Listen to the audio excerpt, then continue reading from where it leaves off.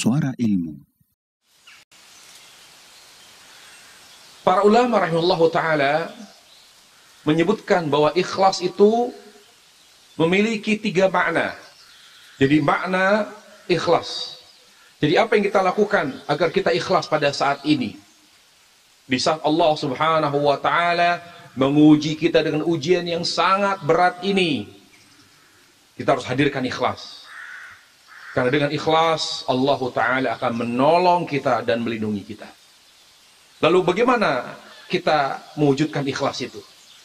Yang pertama adalah anta'budallaha lidzatihi la tam'an fi jannatihi wala haraba min nari bal likaunihi ilahan wa nahnu wa nahnu ibaduhu. Yang pertama ikhlas adalah bahwa kita melakukan apa pun pada saat ini adalah semata-mata karena cinta kita kepada Allah. An-na'mala lillah wa an na'budallaha tabaraka wa ta'ala bimahabbatillah. Di mana kita beribadah kepada Allah Subhanahu wa taala.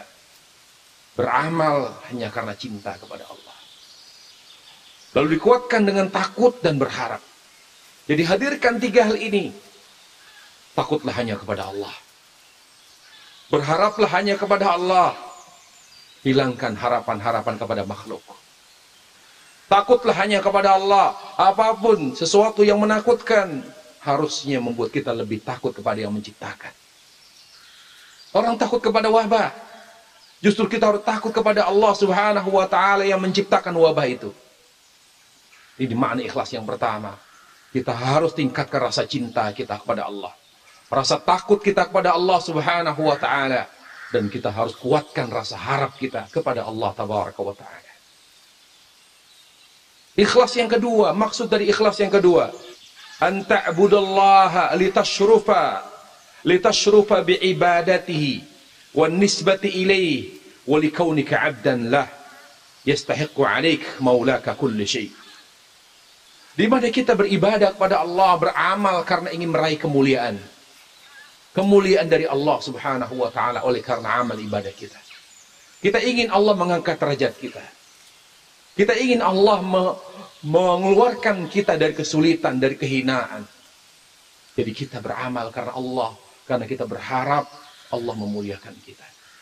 Karena tidak ada yang dapat memuliakan kita kecuali ibadah kepada Allah tabaraka wa taala. Makna yang ketiga, maksud dari ikhlas yang harus kita hadirkan pada saat ini. An ta'budallaha talaban li thawabi wa khawfan min iqabi. Di mana kita beribadah, beramal, mengharapkan pahala Allah. Ganjaran dari Allah subhanahu wa ta'ala. Dan juga kita beramal karena takut terhadap azabnya. Inilah maksud daripada ikhlas yang sepatutnya kita wujudkan pada saat ini.